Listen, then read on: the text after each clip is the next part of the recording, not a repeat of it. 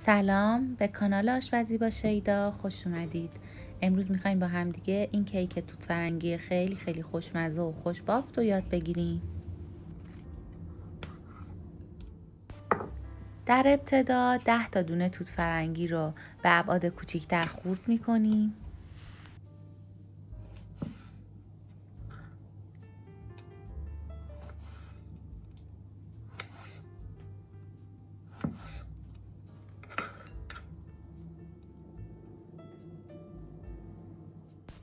بعد سه تا تخم مرغ رو به همراه یک پیمان شکر و کمی وانیل سه دقیقه هم بزنید.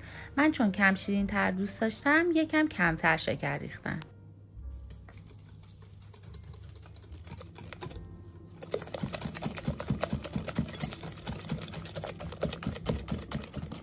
نصف پیمانه بهش روغن اضافه کنید و مجددا هم بزنید.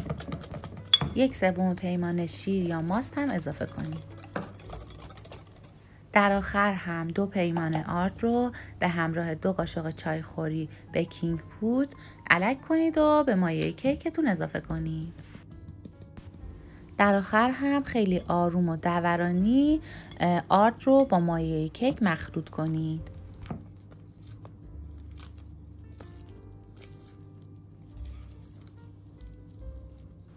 غلظت مایه کیکمون به این صورت میشه.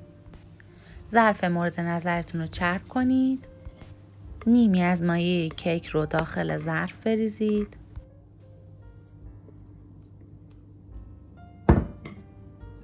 سطح مایه کیک رو با توت فرنگی که خورد کردیم کاملا پر می‌کنیم.